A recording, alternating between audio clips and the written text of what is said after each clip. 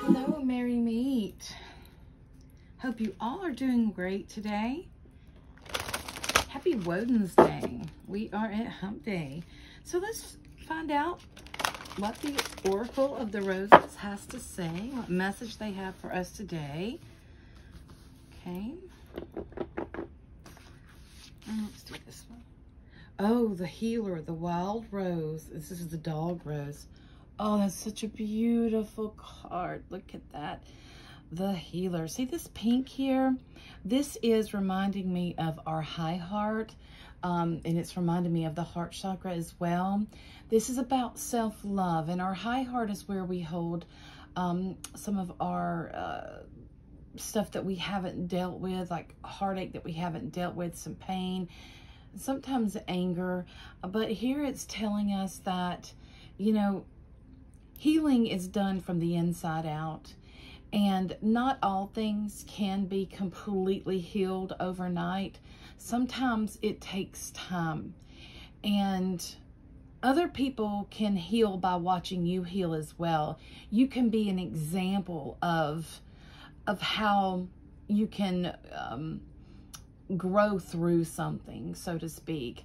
When something bad has happened, um, something tragic has happened, um, you know, you're not the only one that goes through these things. A lot of people go through similar things as you do, but sometimes they don't have the strength that you have. So you can be that guide that helps them um, work through the issues and work through the problems. So today is the healer card.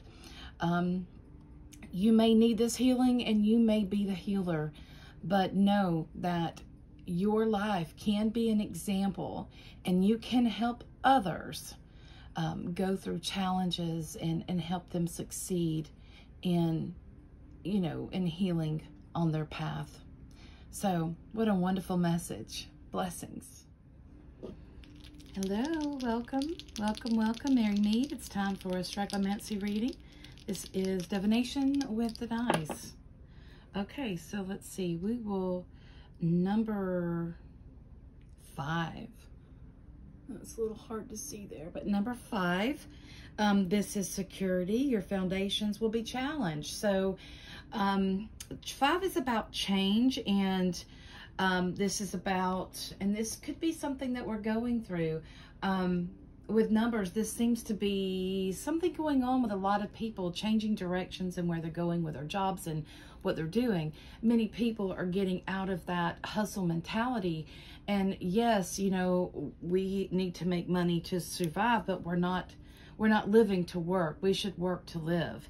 And this is the kind this is a kind of concept that many people don't understand because um, you know, you may not be able to do the certain things that you used to be able to do. You may have to make those financial adjust, um, adjustments in order to succeed in fully living your life.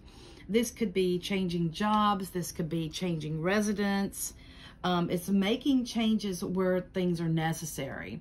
Um, this is for your soul evolution. So next we have... Um, Oh my goodness, this is chipped. I can't really, that's a number four. It's messed up. I can't really read that, but this is about, you know, four is communication. Um, this is advising you that if you are looking for a job or a place to live, um, getting back in getting back in touch with people that you may have lost uh, contact with um, could help you in this process as well. Um, something from the past coming up uh, positive things could come through this communication. So, um, yeah, you may know someone in your past that you can uh, connect with.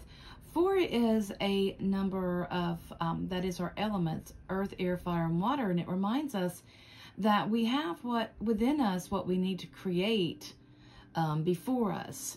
So, yeah, use everything that you have available to you. If you're wanting to make these changes in your life, Use everything, all your tools that you have available to you in order to make it happen.